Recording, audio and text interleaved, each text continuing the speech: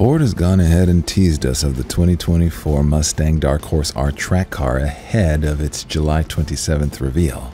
We got a sketch. Let's look at it. And last year we got a CGI rendering of the Dark Horse R. And here's an AI version I made on Firefly. From the teaser sketch, it got bigger in the front splitter, rear diffuser, and rear wing area. Although these may be on both the S and R models, the R will have a standalone fuel cell in the place of the S's factory tank, as well as lightweight wheels and seam welding throughout to add greater rigidity and safety in the event of a crash. Guess who's making the chassis? Canadian company Multimatic. While not strictly racing cars, the Dark Horse S and R models are track only. The R is supposedly homologulated for racing, although Ford hasn't said for which series as of yet. We know it will have a 4th gen Coyote V8 engine, 500 HPs and 418 pound-feet of torque, about,